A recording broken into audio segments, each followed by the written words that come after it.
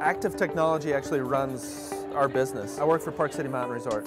RTP One is the software platform that we that we run that basically takes the guests from where they're planning their vacation through to our user end reporting that we look at on our side. Everything we sell at our resort it runs through the RTP software system. Um, we also use it for access control. So that's how we, we um, identify people and whether they have the appropriate product on them to get onto a, um, our mountain and to ski and enjoy themselves. The technology behind the product has, has enabled us to become smarter, uh, more uh, agile in our marketplace because we can understand what's happening, um, understand what our customers want and need, and, and, and, try and deliver it to them.